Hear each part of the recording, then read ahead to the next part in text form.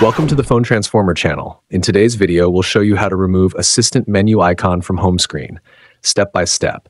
If you find this video helpful, please subscribe to our channel for more tech tips and tutorials. Let's get started. Step 1. First, open the Settings app on your Samsung phone. You can find it on your home screen or in the app drawer.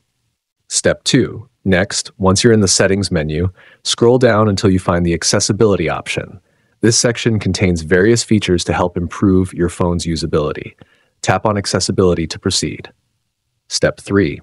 Now, within the Accessibility menu, look for the Interaction and Dexterity option. This section is designed for users who need additional assistance with touch interactions.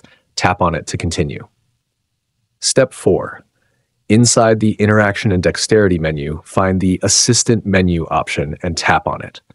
Right now, the Assistant menu icon is enabled, which is why it's appearing on your home screen. Step 5. To remove it, simply tap on the toggle button next to Assistant menu. A confirmation prompt may appear.